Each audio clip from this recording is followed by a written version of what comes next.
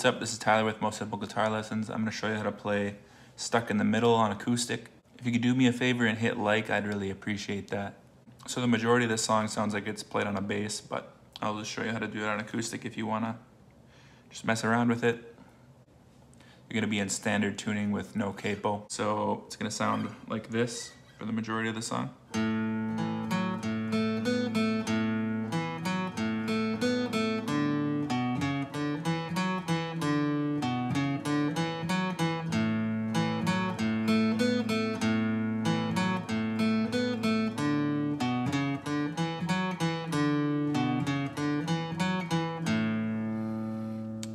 So that's slowed down. You're gonna start on your A string open, and then two, four, two, four.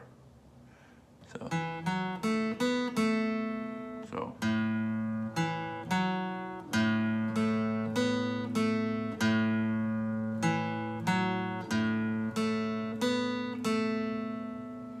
That's the first part. I'll do it one more time.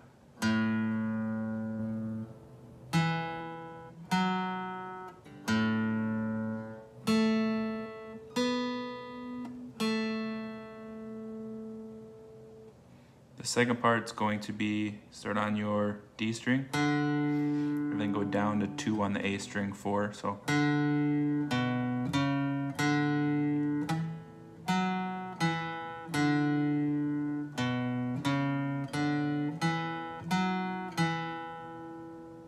One more time, that's open on the D string, two, four on the A string, two, four on the D string, back to two.